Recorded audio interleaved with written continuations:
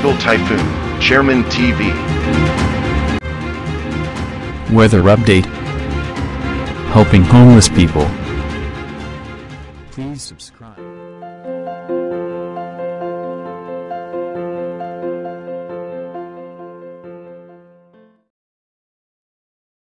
Magandang umaga po. Ito po ang ating weather update ngayong araw, January 31, 2022.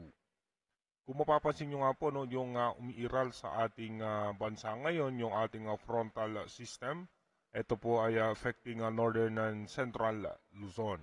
Kung mapapansin nga po natin, ano, may mga posibilidad na pag-ulan, mararanasan tayo dito sa may parte ng ah, Apari, Cagayan, dito po sa may ah, Kalinga, sa Mountain Province, sa Ifugao, Benguet, and ah, malaking bahagi ng ah, Central Luzon.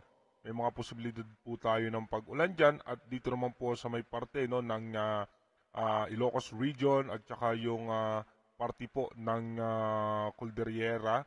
Ito nga po ay may mga ah, posibilidad pa rin tayo maranasan na may hina at katamtamang ulan at malamig na panahon dahil po sa ating amihan.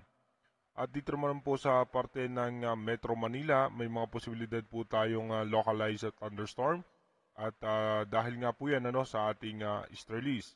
At ah, kung mapapansin naman natin ano, na wala naman po tayong inaasahan na anumang sama ng panahon na mabubuo sa loob at labas ng ating bansa.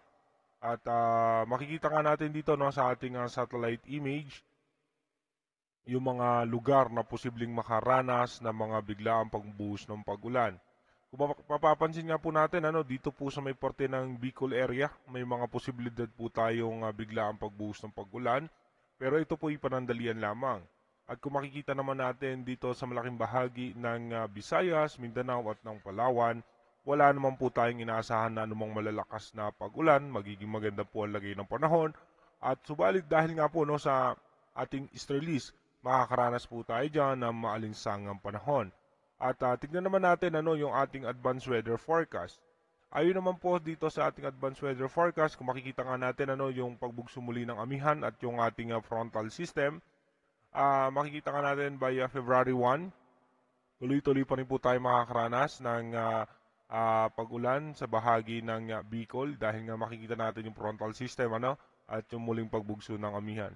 Yung easterlies naman ano makakaapekto pa rin yan dito sa malaking bahagi ng ah, Visayas at ng ah, ah, Mindanao. At pagdating po ng ah, February 2, makikita natin ano wala wala pa rin po tayo nakikita ng anumang sama ng panahon.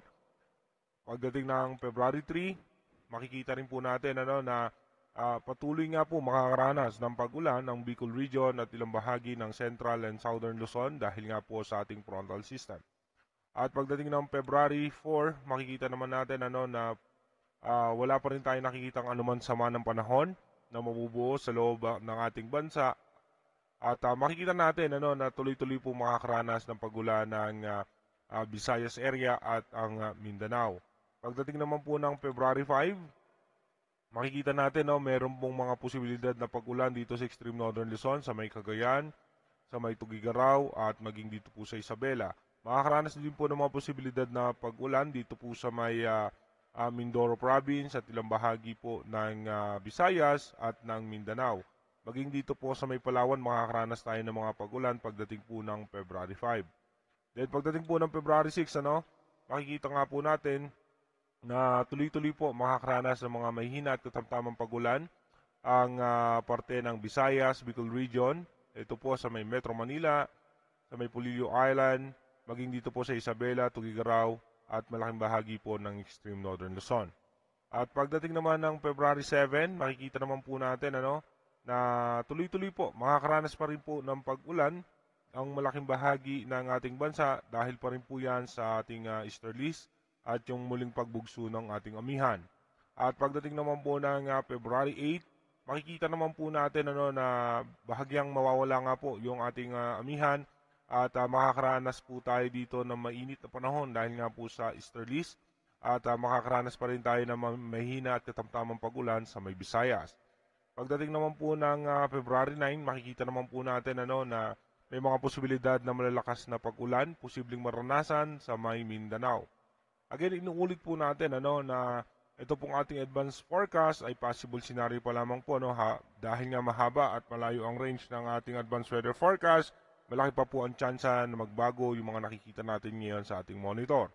Sa ngayon ito pa lang po yung ating available data no hanggang sa February 9 wala pa rin po naman tayo nakikita sa ngayon na anumang sama ng panahon na mabubuo sa ating bansa. Mag-iingat po tayo palagi. God bless po. Copyright disclaimer under Section 107 of the Copyright Act 1976. Allowance is made for fair use for purposes such as criticism, comment, news reporting, scholarship, and research. Fair use is a use permitted by copyright statute that might otherwise be infringing. Non-profit, educational, or personal use tips to balance in favor of fair use. Disclaimer Please note no copyright infringement is intended. I do not own some materials, images, video clips, nor audio clips used in this video. All content used fall under the remits of fair use. If happen that someone claims their ownership of the said materials above, I will not hesitate to remove them immediately.